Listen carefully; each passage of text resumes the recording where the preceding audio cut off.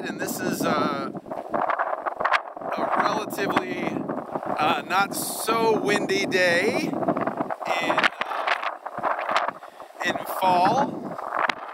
And we're out here at our station and this is our research station the former bunkhouse when we had the uh, ranching operations out here. And uh, wonderful site awesome research station. Station over here, we have some tent cabins, and those are um, great, uh, great places for folks to uh, stay in and sleep. We also have the main bunkhouse here, which has indoor uh, housing. So we have an area here where we can have shaded programming space, outdoor programming space, etc. And then in here, these are all of our uh, main uh, residential rooms. And as we walk into the main entrance here, this is our um, uh, kitchen and dining area.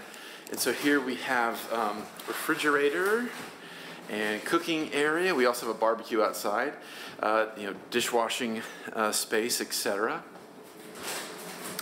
And this is a place where you know evenings after after work or after research or after um, class activities, uh, folks can gather here and hang out and have communal space, chat, play games, all that kind of good stuff. Cool mural about our uh, uh, founding director, uh, Dr. Cause Hannah. Um, and then we have you know bathrooms with showers here.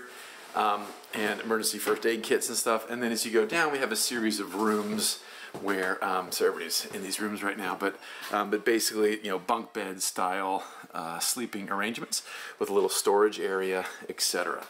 So this is our Santa Rosa Island research station, and it is uh, a fantastic aspect of campus, a really neat resource, and something that everybody should get to experience before they leave Channel Islands.